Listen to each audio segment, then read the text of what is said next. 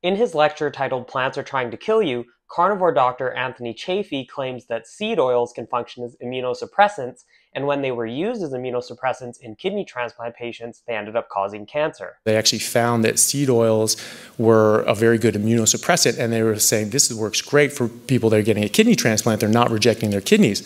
The problem was they were all getting cancer.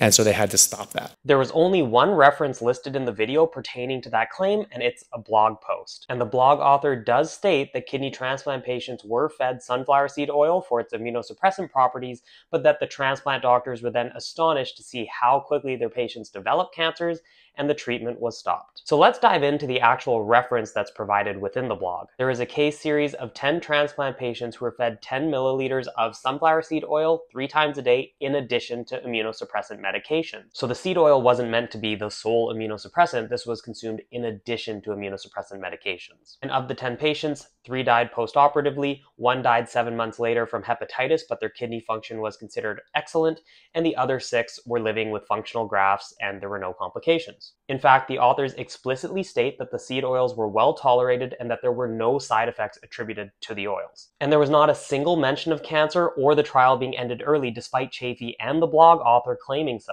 Now, this is a small, uncontrolled trial, so I wouldn't draw any firm conclusions from it, but why are they making strong and seemingly fabricated claims? Well, I can't say for certain, but I suspect that Chaffee just repeated what he read in the blog without checking the primary sources, and the blog author is either lying or is extremely confused.